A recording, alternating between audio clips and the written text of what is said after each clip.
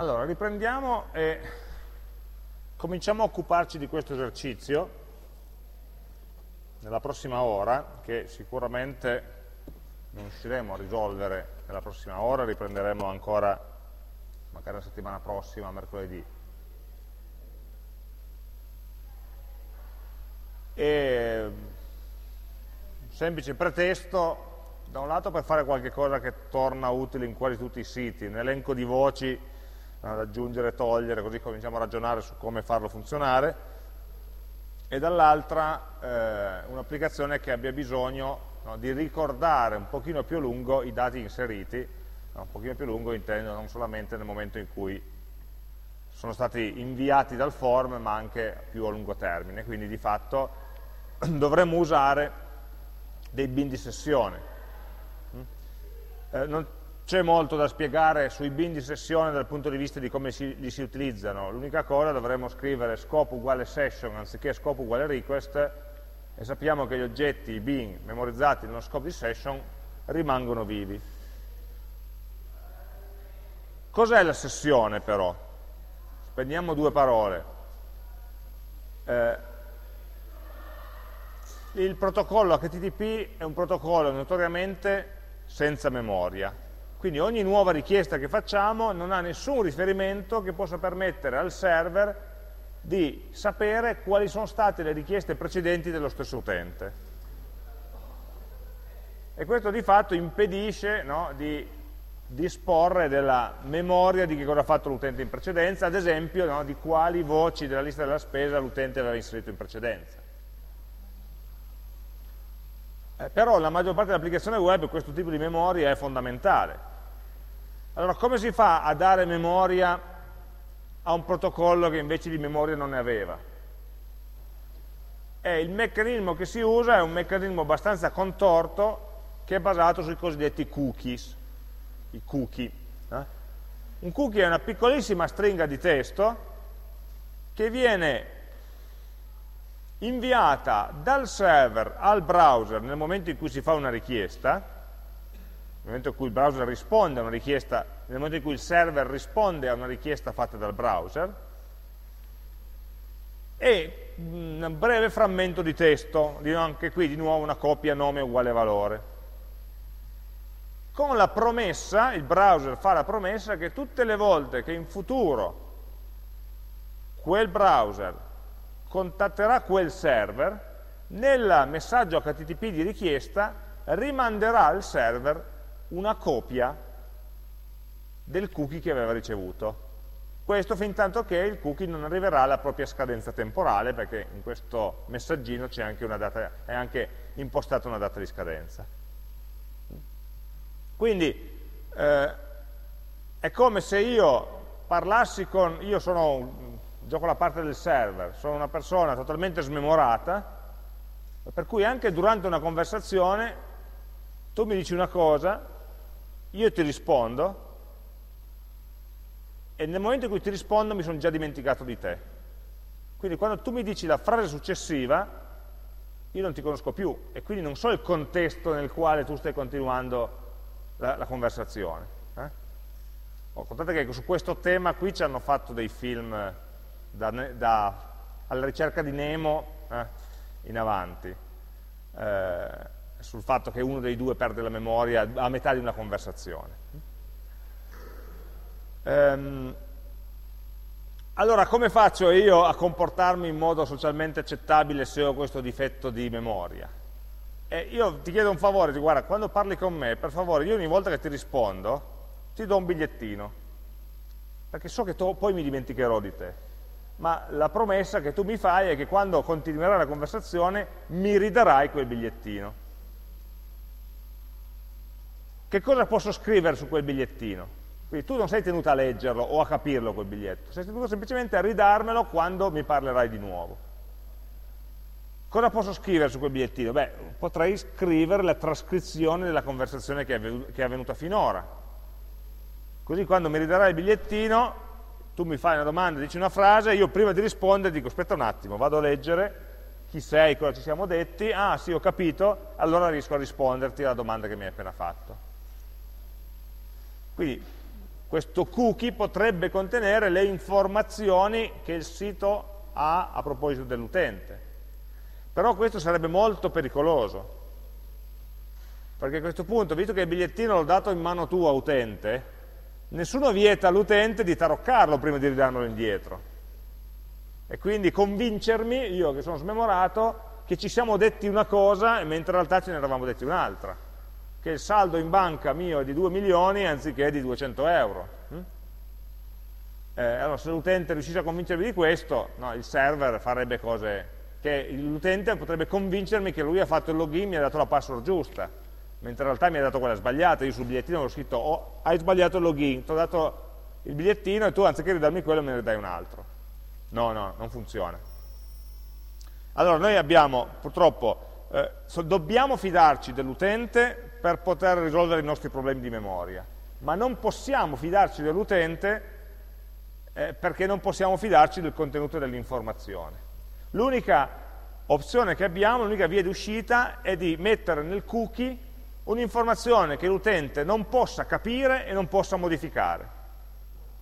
Ma questa informazione non contenga nulla a proposito del, eh, del discorso, diciamo così, intercorso tra me e l'utente. Che cosa ci mettiamo lì dentro? Un numero. Quindi in questo bigliettino che ti do non c'è scritto il riassunto della conversazione che abbiamo fatto, ma c'è scritto un numero di 27 cifre, una cosa spropositata, un numero casuale. Io ti do questo bigliettino, poi io, server, mi salvo da qualche parte un bigliettino più lungo in cui ho il numero, che la copia del numero che ti ho dato, e la trascrizione della conversazione, tutti i dati che ho su di te. Quindi nel server viene memorizzata delle informazioni relative alla sessione, adesso cominciamo a chiamarla così. La sessione è identificata da un numero. All'utente, attraverso il meccanismo dei cookie, viene ogni volta impostato e rinfrescato e ricordato lo stesso numero. Quindi ogni volta che l'utente si collega al sito, come prima cosa, se, se è il primo collegamento non ha nulla da fornire. Se, se non è il primo collegamento, fornisce il numero che aveva ricevuto in precedenza. Il server cosa fa? Va a vedere questo numero e controlla se tra i propri bigliettini ce n'è uno il cui numero corrisponde. Se così sblocca la sessione, quindi ottiene da quel bigliettino, da quel, da quel dato in sessione, le informazioni sull'utente e quindi può rispondere. L'utente non può barare a questo gioco, perché se lui cerca di cambiare il numero, eh, di fatto il server si vede arrivare un numero che non corrisponde a nessuna sessione valida. Per questo il numero lo facciamo di 20 cifre, perché le probabilità che lui ci azzecchi un numero di una sessione di un altro utente attualmente attivo che guarda caso aveva proprio quel numero lì, devono essere infinitesime. E quindi non deve valer la pena provare a fare il cosiddetto session hijacking, cioè dirottamento delle sessioni, inizio con un utente e poi cerco di diventare un altro. No? Quell'altro utente dovrebbe essere collegato nello stesso momento, deve avere una sessione attiva, io devo riuscire a indovinare qual è il suo numero di sessione del cookie. È, è sufficientemente improbabile eh, affinché questo non avvenga nella pratica. Allora, questo è il meccanismo di basso livello eh, a livello di protocollo HTTP che permette al server di avere un meccanismo per ricordarsi dell'utente questi cookie, questi bigliettini, il server di tanto in tanto li butta via, no? nel senso che mm, si accumulano tutti gli utenti che visitano il sito, appena fanno una prima richiesta, quindi fanno una richiesta get, utente nuovo, non ha nessun cookie, non ha nessun bigliettino, il server ne genera uno nuovo e si crea il bigliettino vuoto, no? con scritto nulla per ora, ma gli dà indietro il cookie all'utente, in modo che quell'utente lo possa rimandare. Poi queste sessioni si accumulano nel tempo, di tanto in tanto il server fa pulizia quindi di fatto ogni cookie ha una sua data di scadenza, passata la quale il browser non è più tenuto a mandare il cookie al sito. Quindi il cookie che vi ho dato oggi non lo potete riusare domani. E il server non è più tenuto a ricordarsi le informazioni. Mm? Questo succede su molti siti su cui magari eravate collegati, stavate facendo qualcosa, poi arriva una telefonata, c'è il panino, uscite un attimo con l'amico, tornate, provate a cliccare sulla pagina e vi dite no, la sessione è scaduta, devi ridare la password. E questo è successo che il cookie aveva una data di scadenza inferiore al tempo di inattività che voi avete eh, mostrato su quel sito. E quindi su cookie è scaduto, il server si vede arrivare una richiesta per una pagina interna che è accessibile solamente agli utenti collegati, ma questa richiesta non è accompagnata da un cookie valido, perché il browser non glielo manda più perché è scaduto, ma se anche glielo mandasse il server sa che quella sessione è scaduta, e quindi dice no caro, ripassa dall'ingresso e riprenditi un cookie nuovo. Um, Oppure ci sono dei siti invece che eh, impostano dei cookie cosiddetti permanenti, no? quei siti in cui c'è ricordami su questo computer quando faccio login. Allora questo imposta un cookie permanente sul server che non scade dopo 20 minuti, ma scade dopo anni magari o dopo mesi. Mm? Eh, e allora questo permette, chiaramente per il server è più complicato, ovviamente il server so, di Facebook non potrà tenersi in memoria tutte le sessioni di tutti gli utenti che hanno detto ricordami su questo computer del mondo, no? quanta memoria gli serve. Nel caso di cookie permanenti il server avrà un lavoro un pochino più complicato di andare a congelare queste sessioni sul database e ritirarle su quando poi l'utente effettivamente si collegherà, quindi c'è un cookie permanente e un cookie temporaneo che interagiscono. Ma questi sono già meccanismi più complessi. Noi sappiamo che a basso livello tutto si regge su questi numerini che vengono scambiati, tra virgolette criptograficamente forti, cioè difficili da indovinare. Dal punto di vista pratico, però, dentro l'ambiente GSP, il tutto è molto semplice, perché quando noi scriviamo scope uguale session, per un bin, questo bin verrà messo, no, il famoso bigliettino, verrà memorizzato, scritto sul bigliettino associato al numero di sessione corrente. Io non devo preoccuparmi come programmatore, se voglio posso vederlo, accedere, modificare tutto ciò che voglio, ma normalmente non mi devo preoccupare né di generare le sessioni, né di farle scadere, né di gestire di fatto questo contenitore di cookie, che in realtà non è un contenitore, ma sono tanti contenitori, uno per ciascuna sessione attiva. Fa tutto Tomcat. Poi se voglio lo posso controllare fin dai minimi dettagli, ma se non mi interessa lascio che faccia lui. Quindi estremamente semplificato. Con altri Uh, ambienti le cose sono un pochino più complicate, eh, un pochino più esplicite, un pochino più a basso livello la gestione, mentre qui per fortuna è del tutto trasparente. Mm? Al punto che ricordo di aver parlato con delle persone che usavano GSP professionalmente, gli ho chiesto, in contesto di, di era un, un concorso d'esame o qualcosa di questo genere, non ricordo più cosa fosse, gli ho chiesto spiegami le sessioni, non mi ha saputo dire cosa fosse un cookie, no? proprio perché il programmatore non vede nulla di tutto ciò. Noi per fortuna conosciamo anche un po' di più il protocollo, quindi riusciamo a capire, non solo sapere che funziona, ma anche capire come. Vabbè, vediamo questo esercizio, eh, che ovviamente ha bisogno di, di, usare dei bin in sessione. Lo, lo leggiamo, ci ragioniamo, proviamo a fare il progetto e poi iniziamo l'implementazione. Allora, si crea, una, si crea una semplice applicazione web per gestire una lista della spesa, o una lista di voci, o una lista di, di idee geniali che avete avuto, quello che volete. L'utente può inserire un elenco di voci libere, che sono di fatto delle stringhe di testo, e su tale elenco è possibile aggiungere, cancellare e riordinare le voci. Ogni voce della lista è caratterizzata da una data di inserimento, questa magari la facciamo dopo, non la facciamo subito è richiesto anche di creare una versione stampabile della lista, ossia priva degli elementi di interfaccia utente, cioè è brutto stampare una pagina dove c'è scritto inserisci, cancella, nella... Eh, e inoltre deve essere possibile azzerare la lista e ricominciare da capo, proprio il minimo indispensabile, via.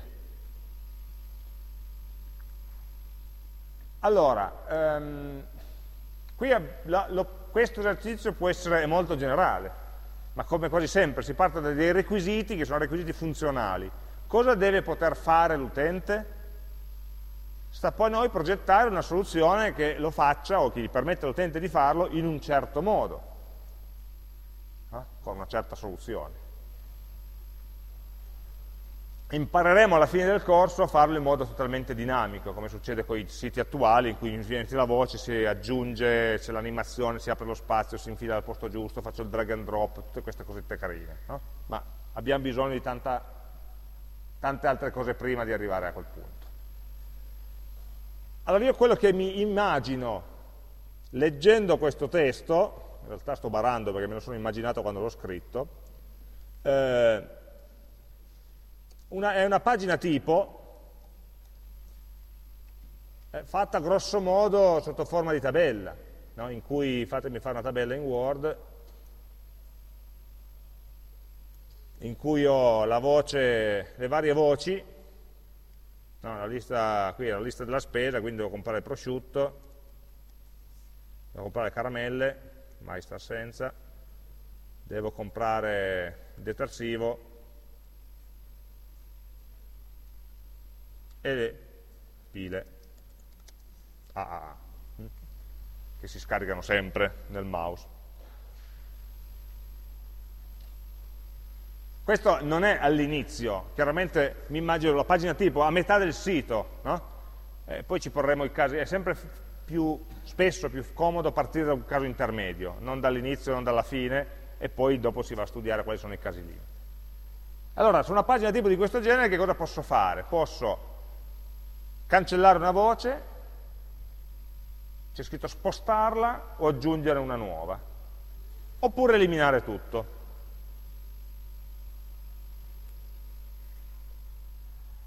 Allora, poi abbiamo vari stili di, di, di, di programmazione. No? Per cancellare una voce io potrei mettere magari a fianco di ciascuna voce, per questo ho fatto la tabella due colonne, un bottone elimina. E quindi posso mettere tanti bottoni elimina per ciascuna voce.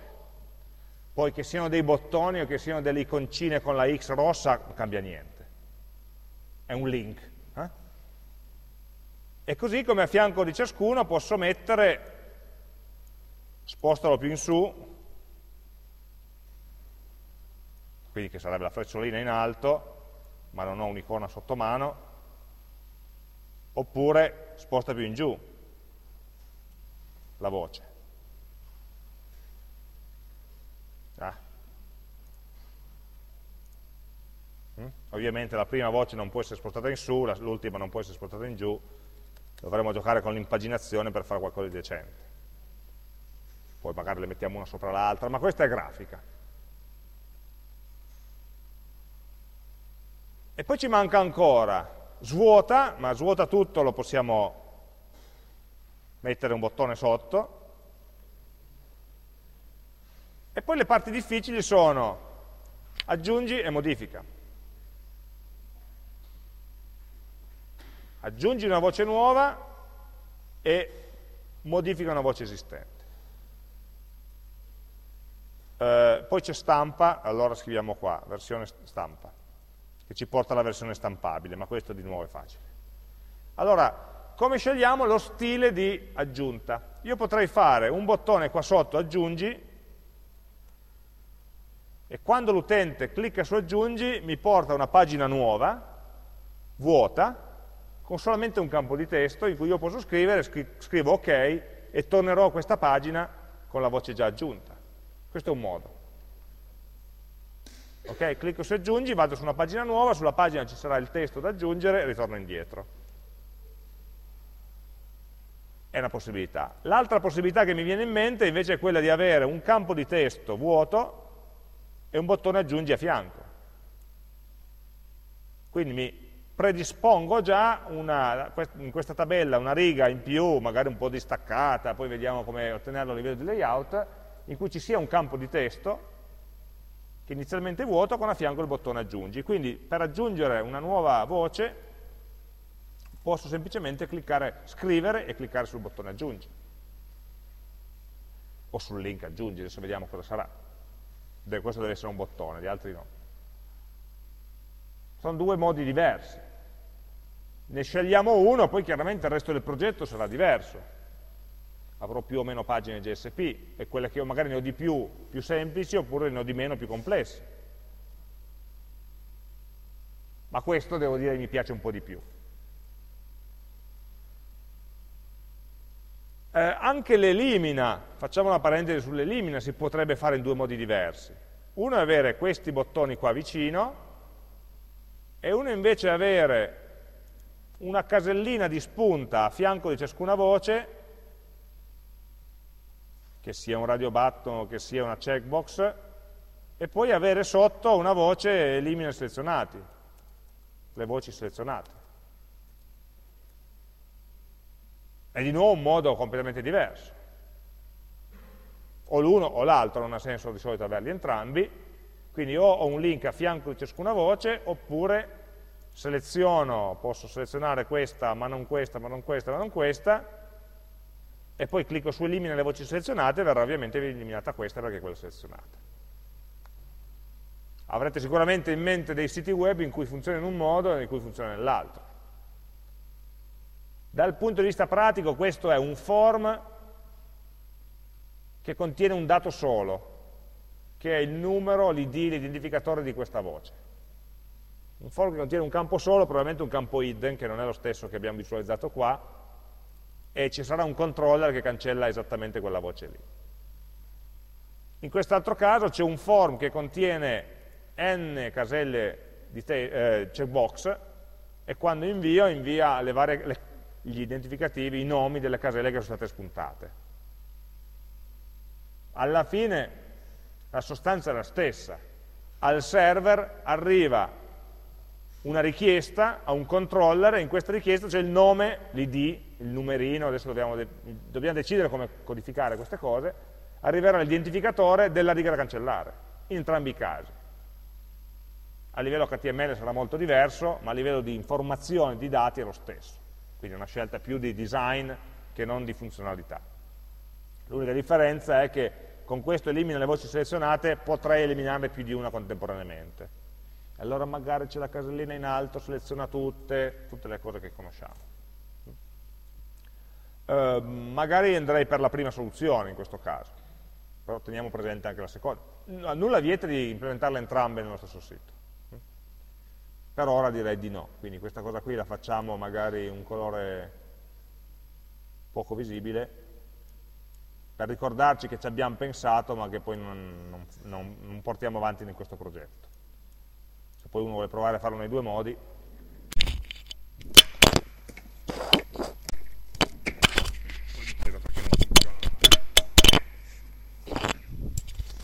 se uno vuole provare a farlo nei due modi abbiamo la traccia del ragionamento. Eh, aggiungi, lo lasciamo così, modifica. Modifica è quello più rognoso perché non siamo ancora capaci a fare le pagine web dinamiche, no? perché al giorno d'oggi modifica vuol dire cliccare su questa voce quindi da, da, un testo normale si trasforma per magia in un campo di testo che posso editare, poi confermo e lo chiudo. Eh, non siamo ancora capaci a fare queste cose, lo saremo ma oggi non ancora. Quindi l'unico modo che conosco è, due modi che conosco sono o rendere questo sempre un form, quindi metterlo, non metterlo come testo, ma metterlo già come casella di testo. E quindi avrei una tabella fatta di tante caselle di testo una a fianco dell'altro, di un brutto da vedere che non si immagina. Oppure metto del testo normale, lo posso formattare come voglio, e, metterò un bottoncino modifica qui. Eh, scusate, sono addormentato sullo spazio aggiungerò un bottone modifica, questa volta cliccando su modifica andrò in una nuova pagina, non posso fare altro con le conoscenze che abbiamo al momento, in cui ci sarà una casella di testo, una sola, solo lei, già precaricata col prosciutto, col, va col valore della voce corrente. Farò ok e torno indietro. Non riusciamo a fare tanto di meglio. E quindi possiamo pensarlo così. Poi ovviamente al posto di modifica, immaginatevi, vedete, uno sforzo di fantasia, l'icona con la matitina. Eh? Questa è la nostra pagina tipo. Abbiamo scelto come deve essere fatta. Adesso dobbiamo decidere cosa ci sta dietro a ciascuno di quei link, a ciascuna azione dell'utente. Questa è la vista dell'utente, che sarà generata da una certa view. La view per generare questo dovrà semplicemente avere da qualche parte informazione sulle voci che sono attualmente visualizzate. Queste voci, visto che sono sempre le stesse che poi vengono aggiunte, modificate, rimescolate, ha senso metterle no, dentro un bin di eh, sessione. Se non fosse in un bin di sessione, ogni volta che premo un bottone, elimina ad esempio, dovrei insieme a questo bottone mandare non solamente l'id della voce da, da, eliminare, ma tutte le altre voci in blocco. Dovrei rilevarle ogni volta, come, nella prima, come facevate nella prima esercitazione, in cui eravate obbligati a mettere dentro i campi nascosti dei dati, perché altrimenti venivano persi per sempre. Quindi per non andarci a complicare la vita, è vero che si possono ricopiare, ripassare i dati 100.000 volte, ma è macchinoso, inefficiente e soprattutto obbliga ogni volta che passa una pagina all'altra di farlo con un form che si porta dietro tanti campi nascosti. A noi non interessa nessuna di queste cose, i dati, li, li, se l'elenco se lo ricorda il server. Quindi questa view genererà l'elenco a partire da un bin, ma che sarà un bin di sessione poi cambia niente, nel senso che è sempre un bin a cui la interrogo, dammi la lista e lei genera. Ok, eh, dopodiché, quindi ci dobbiamo immaginare un bin che sia in grado di memorizzare questa struttura dati, un elenco di stringhe. Pensiamola già un po' generica, che magari dentro ci metteremo poi la data in un secondo momento. E poi eh, uno o più controller che possano agire a fronte delle azioni che l'utente può fare. Quali sono le azioni che l'utente può fare? Una, due, tre, quattro, cinque, sei, sette. Quindi o abbiamo sette controller diversi, o avremo un controller solo che gestisce sette azioni diverse, sta a noi o qualunque mix, magari il su e il giù lo faccio gestire dallo stesso controller, modifica da uno diverso, lo aggiungi da uno diverso, decido io, fa parte del nostro progetto. In prima istanza ogni azione dell'utente deve essere elaborata in modo diverso, quindi tendenzialmente no, richiederebbe un, un controller diverso. modifiche e aggiungi forse sono abbastanza simili, ma non saprei neanche se vale la pena di cercare di... Tanto abbiamo visto i controller quanto sono lunghi, di solito sono poche, poche istruzioni, quindi non ha neanche senso cercare di fare economia. Mentre sulle viste un pochino di più perché sono più complesse. Non difficili, ma complesse in termini di codice. No? Va bene, allora, fatto così, eh, fatto questo ragionamento, possiamo provare a immaginare sia la struttura dati, almeno le parti principali, no? sia le pagine di cui è composta. Adesso mh, mm, potremmo metterci a fare lo schemino, ma... Eh, tra l'altro questo sito gira su due pagine sole, viste dall'utente. Questa, in cui ciascuna azione, ciascun... ogni volta che clicchiamo su uno qualsiasi di quei bottoni, ritorniamo sempre qui. Sempre questa pagina. Un po' diversa, ma sarà sempre lei, perché aggiungo e tolgo le voci, ma sarà sempre la stessa pagina tranne in un caso, c'è il caso della stampa, che mi porta in una pagina invece che contiene solamente queste cose senza tutti gli elementi di interfaccia grafica.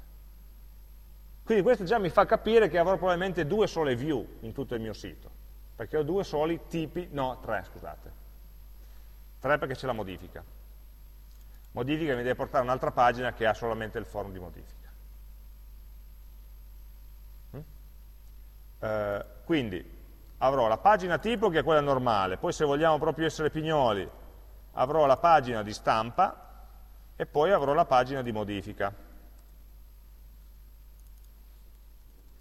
La pagina di modifica è facile perché avrà semplicemente un form eh, con una casella di testo con scritto un dato già predefinito però il posto per scrivere altri e a fianco ci sarà la voce ok oppure modifica oppure annulla.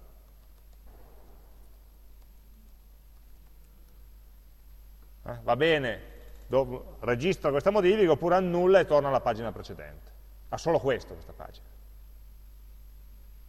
Mentre la pagina stampa avrà questo elenco nudo, senza elementi di interfaccia utente. Magari ha un bottone in fondo, un link in fondo semplice, piccolo piccolo che non si vede, torna alla pagina precedente, oppure più probabilmente lo facciamo aprire in una nuova finestra, così poi l'utente stampa e se la chiude e qui non ho elementi di interfaccia utente. Quindi ho queste tre pagine da cui possiamo già anche sbilanciarci e chiamarle view lista.jsp view modifica.jsp e view stampa.jsp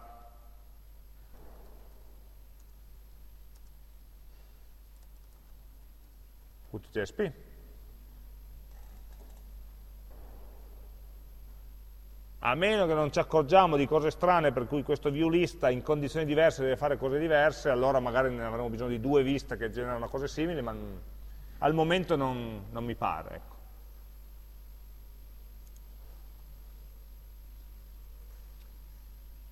E il controller, eh, potremmo fare a questo punto un controller per ogni azione.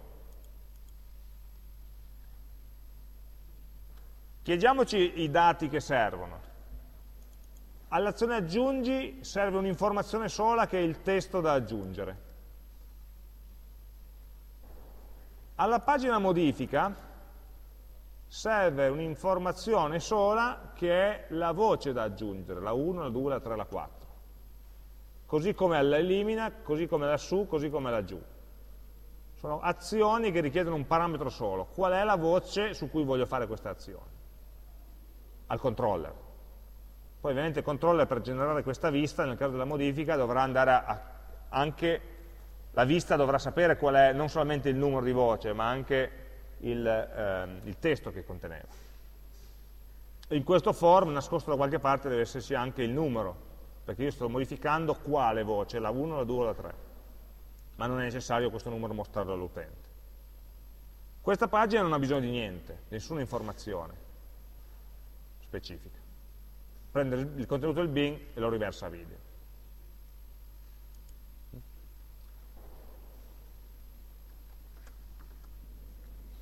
Allora, ehm, il controller a questo punto abbiamo detto che oh, pardon, se ne facciamo uno per ciascuna, per ciascuna azione avremo un do aggiungi .jsp a cui passo una voce. Mm? come parametro avrà un parametro che possiamo chiamare voce quindi avremo già un input type uguale text, name uguale voce. La voce della lista della spesa. Poi avrò un do elimina.jsp a cui passo il numero della voce la prima, la seconda, la terza, avrò un do eh, come si chiama, su. Un do modifica .jsp a cui passo il numero della voce, di nuovo. L'utente vuole modificare la voce 3 e poi un su e giù potrei chiamare sì, due controller diversi oppure un controller, sì. per fare un esempio facciamo un controller unico, do su giù.jsp a cui passo il numero voce e poi un campo che dica up oppure down. Per fare un esempio di un controller che in realtà faccia più azioni diverse, simili tra di loro in questo caso e poi eh, un controller per do pulisci tutto, come l'ho chiamata la voce, svuota tutto, .jsp, e non ha bisogno di nessuna informazione, lui è uno violento, svuota tutto e basta, e poi c'è uno stampa, do stampa. Nel caso specifico il do stampa potrebbe anche non esserci, nel senso che potrebbe coincidere con la view stampa, perché veramente non ha niente da fare questo. però per simmetria possiamo indicarlo, poi vuoi mai che un domani mi arriva uno che mi dice sì, ma io poi voglio sapere quante volte l'hanno stampato perché mi serve come statistica. Allora, se ho il controller faccio in fretta andare lì a incrementare un valore, se invece ho le view non è altrettanto semplice. Quindi il nostro progettino per il momento dobbiamo fare, non abbiamo ancora capito bene i bins che dobbiamo costruire, ma dal punto di vista delle pagine GSP abbiamo deciso che abbiamo bisogno almeno di tre pagine di vista e sei di controller. Oh, questi sei controller sono di due righe ciascuno, eh, non è molto... Il lavoro lo fanno i bin, sempre. Nel 90% dei casi questi controller delegheranno al bin. Ah, c'è il 2 elimina della voce 3. Bin elimina la voce 3 lui non fa nulla, non è lui che va a maneggiare, è il bin che avrà i metodi, elimina, quindi tutti questi metodi qui che dobbiamo fare sulla struttura dati elenco di voci, cioè lista della spesa, corrisponderanno a tanti metodi di questa struttura. Quindi magari partiamo dalla progettazione del bin, poi dopo sarà facile costruire i controller e le viste sovrastanti. Allora facciamo un nuovo progettino.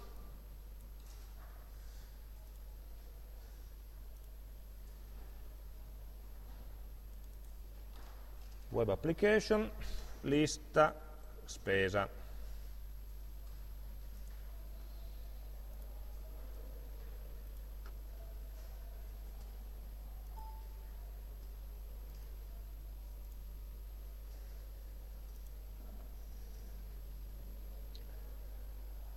Allora, partiamo, abbiamo detto, dalle classi. Hm? E proviamo a immaginarci che cosa ci serve. Ci serve un bin che sarà lista spesa bin.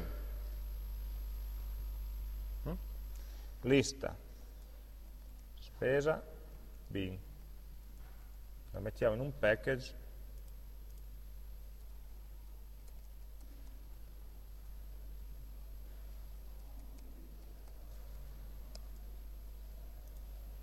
creato l'uopo, questa lista spesa bin dovrà di fatto gestire un elenco di voci. E quindi si dovrà appoggiare anche lei su un oggetto più semplice che ha la voce. È vero che la voce è solo una stringa, però non è detto che domani dobbiamo aggiungere la data e altre informazioni alla voce, quindi facciamoci un oggettino in più che lo chiamiamo voce.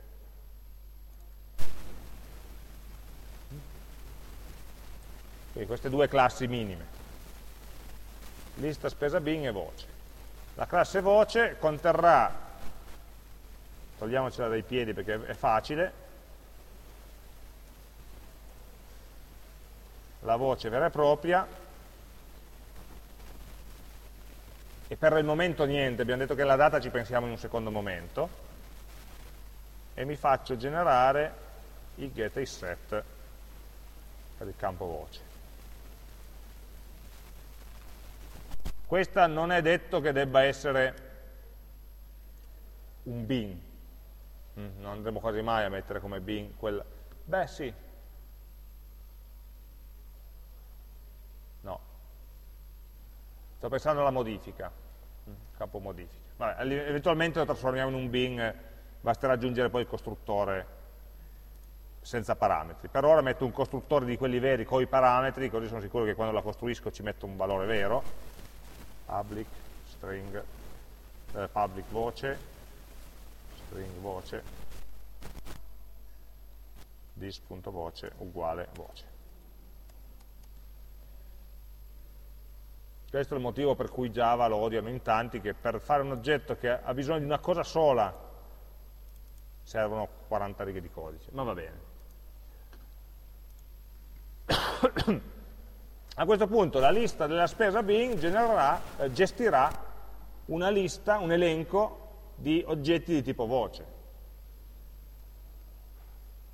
Possiamo usare una qualsiasi dei metodi della, delle collection di Java, eh, ad esempio un array list no, per mantenere questa voce. L'array list è ordinato, ogni elemento ha un numero, di fatto che è una sua posizione, Poi potremmo scegliere, ma il discorso sulle collection magari non so se l'abbiate affrontato bene in passato, se, se, no magari ci dedichiamo una mezza lezione una volta per, per andare a rinfrescare o studiarle. Eh, la differenza ad esempio tra un array list e una eh, sorted list o una linked list dal punto di vista dell'efficienza no, dell'inserimento e cancellazione dei dati. Per ora l'efficienza non ci interessa, abbiamo la lista di 5 voci, quindi una cosa vale l'altra. Quindi noi dovremo gestire una lista di voci e lo chiamo spesa. Okay? Questo list, ovviamente nel java.util,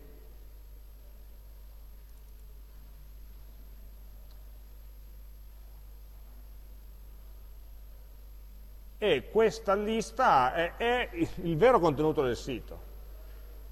Cresce, diminuisce, aumenta, si spostano le voci,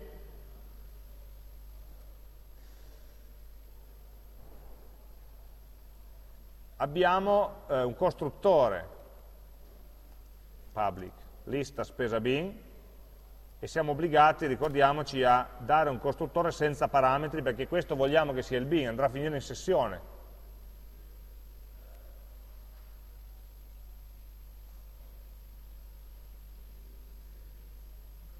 Return type required. Ah perché ho dimenticato un A.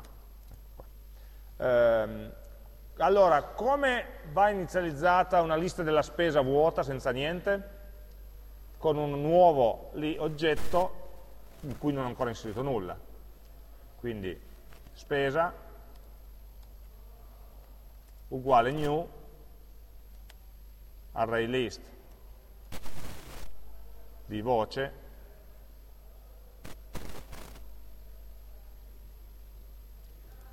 java.util.arraylist. No? Quindi qui crea una lista valida con zero elementi al suo interno. E poi definiamo le operazioni di base che possiamo fare hm, su, questo, su questo bin, su questo elenco. Qui ci sarà un metodo aggiungi, eh, public eh, aggiungi, che riceve come parametro Una voce o una stringa? Eh, adesso ci fa poca differenza. Riceve come parametro un oggetto voce oppure un oggetto stringa? Dipende, eh, se noi pensiamo al futuro, quando ci sarà la data, da indicare anche la data, chi la decide questa data? La data di inserimento? Allora, se la decide il metodo aggiungi, la cosa più corretta è passare una stringa qui e poi ci sarà il metodo aggiungi che costruisce l'oggetto voce e gli assegna la data dell'istante corrente. Se no, invece, questo va fatto prima. Possiamo anche decidere di avere due metodi, uno che riceve una stringa e uno che riceve una data. Per ora, diciamo string eh, voce, no, string testo, chiamiamolo così, per distinguere dall'oggetto voce, e public void, questo qua non ha bisogno di restituirmi nulla. E cosa dovrò fare? Devo costruire una nuova voce da inserire nella lista che contiene questo testo e poi spesa.add di voce.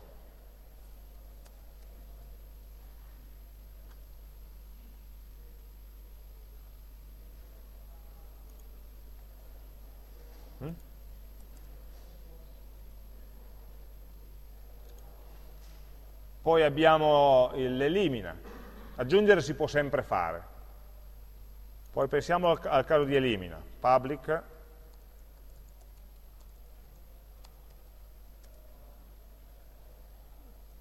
fatemi scrivere boolean, elimina eh, della voce, la posizione della voce che voglio eliminare, la prima, la seconda, la terza, così via. Allora, basta semplicemente prendere spesa e tra i vari metodi che ha spesa ha un metodo remove, elimina un elemento dalla lista. Eh, gli passo un oggetto, cioè rimuove un oggetto specifico, oppure in questo caso l'indice. Rimuove l'elemento nella posizione specificata nella lista. Sposta ogni elemento successivo all'insù, quindi fa, sposta all'indietro. Eh? Ritorna l'elemento, vabbè, che è stato rimosso dalla lista. Attenzione che questo index deve essere compreso tra 0 e la dimensione della lista, se no mi spara un'eccezione che non voglio fare, cosa che non voglio che succeda. Allora, remove, posizione voce, ma solamente se. Quindi innanzitutto controlliamo se posizione voce è maggiore o uguale a 0 e posizione voce è minore di spesa.size,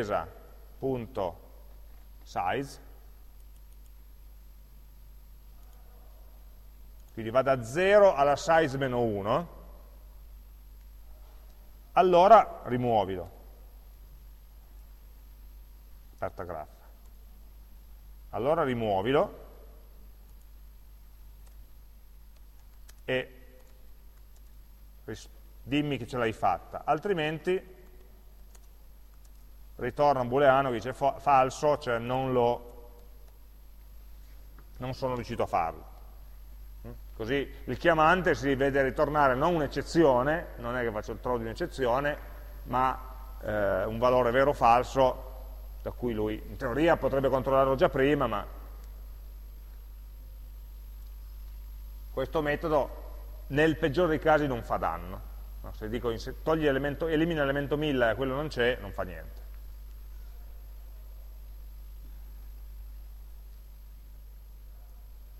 E modifica, e qui sto di fatto creando dei metodi un pochino più facili da usare intorno alle funzionalità di base del, dell'interfaccia list, non sto facendo nulla di public boolean, modifica.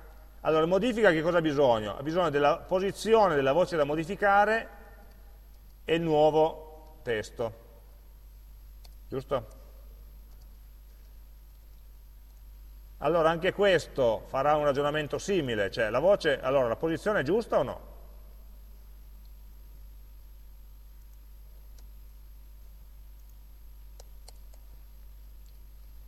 Quindi se la posizione voce è quella giusta, allora fai qualche cosa, sostituisci l'elemento, altrimenti, allora sostituire l'elemento significa creare una nuova voce, che è quella nuova, uguale new voce di nuovo testo e poi la inserisco nel posto giusto della lista, lista punto, li, spesa, spesa punto, anche qui magicamente c'è un metodo set che rimpiazza l'elemento nella posizione specificata nella lista con quello che ti passo come parametro. Eh, quello che cercavo. L'importante è cercare sempre cose che sai di trovare. Eh, gli passo la posizione della voce e nuova, guarda che è stato capace di trovare i parametri da solo. Altrimenti non fai nulla, ritorna falso, così il chiamante eventualmente può.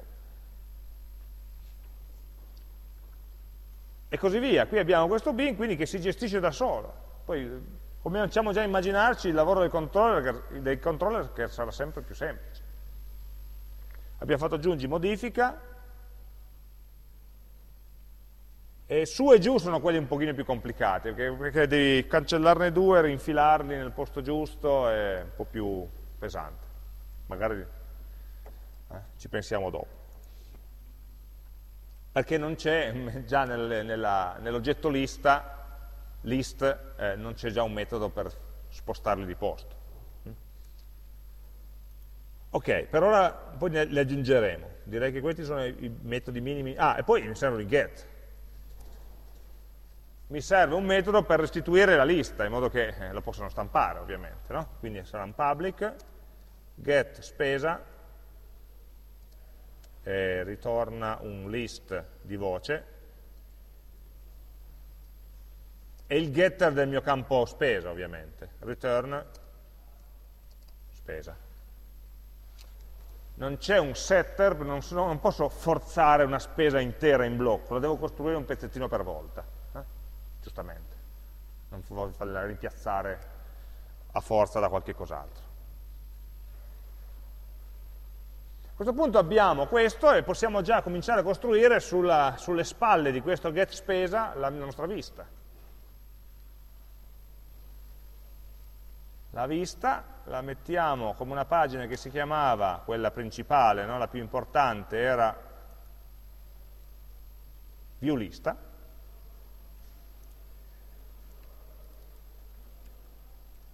Punto .jsp. Ah, non devo mettere l'estensione. Quindi il titolo è lista della spesa lista della spesa.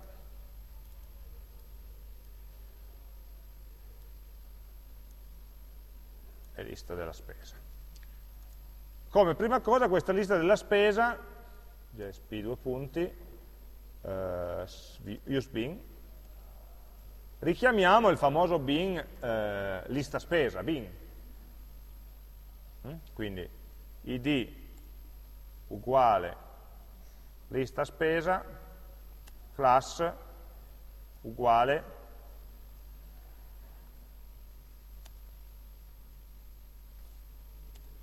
Ippolito, eh, non, ah, una volta faceva autocompletamento ma solo quando ha voglia lui. Eh, lista spesa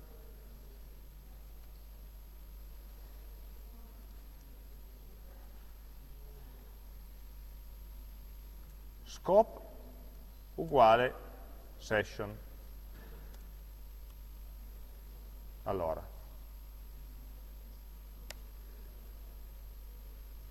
mettiamolo in modo leggibile,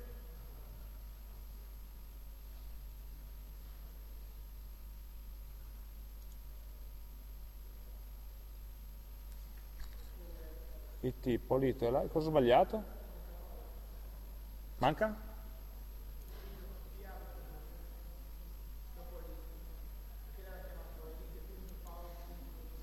Ah, grazie. Certo. Se avesse funzionato subito l'autocompletamento evitavo il problema. Va bene. Eh, ok. Allora, questo qui può anche essere la pagina di partenza. Perché abbiamo creato il bin in modo che lui, nel momento in cui lo richiami, il suo costruttore costruisce una lista della spesa vuota. Noi dobbiamo mettere nel body, adesso a questo punto dobbiamo mettere creare questa tabella qua, possiamo proprio farla come table HTML, che contenga al fondo anche questo campo, aggiungi, che li aggiungiamo noi a mano, e poi questi due bottoni, o link, possiamo anche fare sotto forma di link. Eh? Facciamo magari sotto forma di link, così è più facile poi sostituire il testo con l'immaginina. Eh, allora, lista della spesa, table, una tabella HTML di due colonne e più righe, eh, le righe eh, sono, le, eh, le, creo a partire dal, dal bin, quindi creerò delle righe di questo tipo, ne metto una come esempio, tr, td, prosciutto,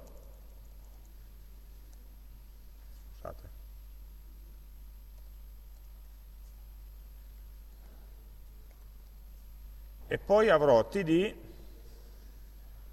ehm, modifica, elimina su e giù. Una cosa del genere. No?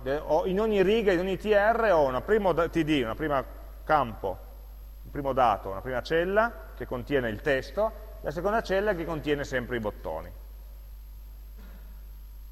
Ovviamente questa riga dovrò replicarla no, eh, scandendo, generando la lista. Quindi entro in Java e genera, metto un commento, genera righe del tipo di questo tipo qua. No? Questo lo lascio come commento. Quindi a questo punto entro in un campo Java in cui prendo la lista della spesa che è attualmente memorizzata nel bin, che se la prima volta sarà ancora vuota, quindi itero vuoto, e genero le righe corrispondenti. Eh, quindi avrò voce v che itera tra che cosa? Tra lista spesa punto get spesa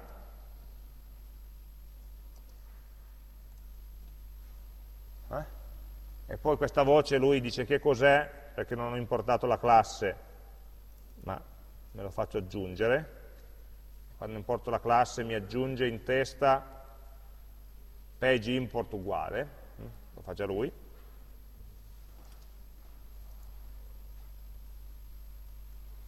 E per ciascuna di queste voci genererò allora out.println tr sicuramente td,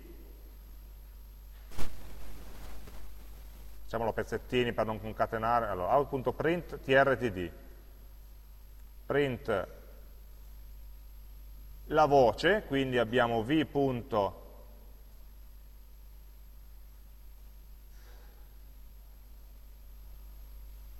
ci siamo dimenticati un pezzo nella classe voce, ah no, getVoce era, perdono.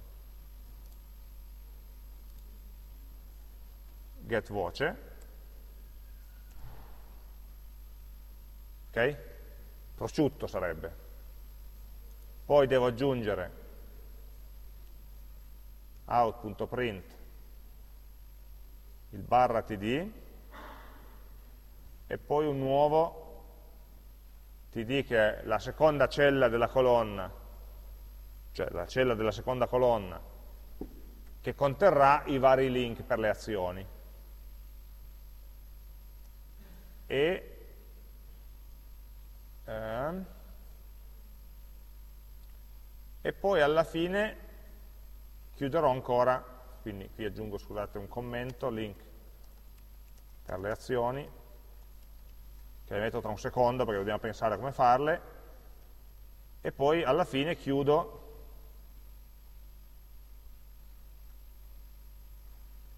la cella e la riga mettiamo anche un print line, così andiamo a capo nell'HTML.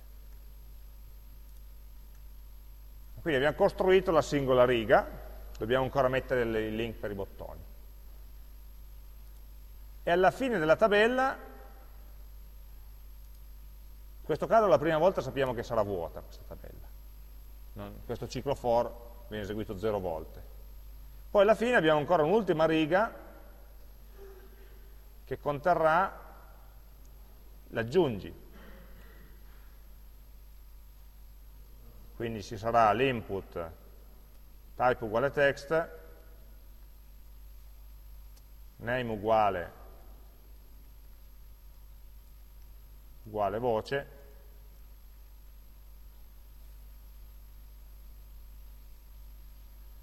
e questo va messo dentro un form, adesso qui è sempre un casino, form, perché il form deve contenere sia la casella di testo che il bottone di invio, però la casella di testo e il bottone di invio sono in due celle diverse della tabella. Form action uguale eh, sarà il do aggiungi, l'abbiamo chiamato, vero? Non abbiamo ancora scritto il do aggiungi, ma fa lo stesso perché ormai avendo fatto il progetto, non l'abbiamo disegnato, ma abbiamo definito i termini essenziali, possiamo scrivere sapendo che ci sarà, e quindi, allora, form, action 2 aggiungi. Questo form comprende una cella della tabella con la casella di input, comprende l'altra cella della tabella in cui ci metto il bottone di submit,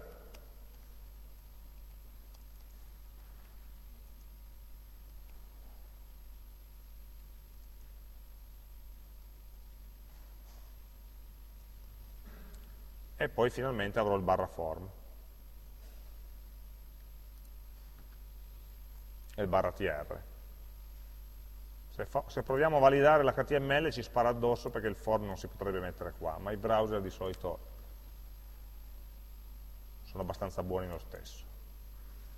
Proviamo a vedere solo a un attimo eseguire questa pagina, vedere cosa succede. Esatto, mi crea questo. Lista della spesa con nessuna voce e sotto una casella di testo con scritto aggiungi. Adesso non abbiamo ancora la do aggiungi.jsp,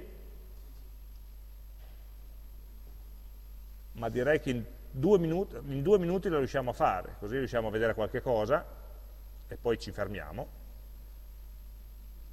Aggiungiamo il do aggiungi.jsp, ah sempre senza estensione, la quale via tutto perché è un controller, use bin,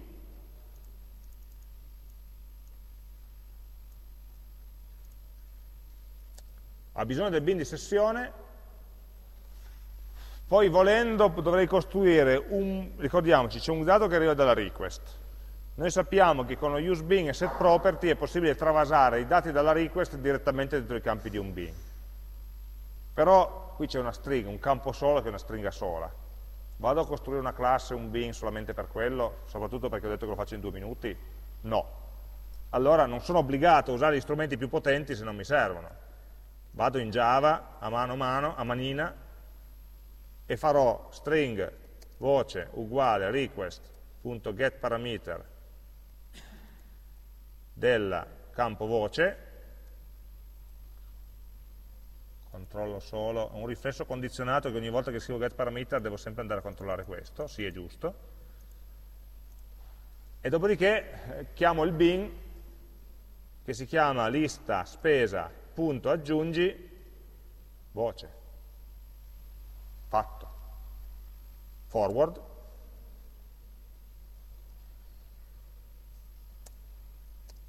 page uguale view lista.jsp.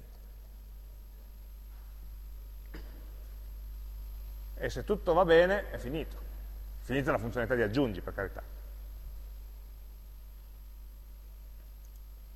Quindi ricarichiamo questa pagina, non c'è nulla, aggiungi il famoso prosciutto e l'ha messo. Vediamo se anche il salame scusate ma voi siete andati a mangiare un panino, io no, quindi a quest'ora, eccetera. Adesso mancano le altre funzioni, per carità. Ma queste potete giocarci per tutto il weekend e dopodiché eh, mercoledì vediamo insieme un modo possibile per implementarle.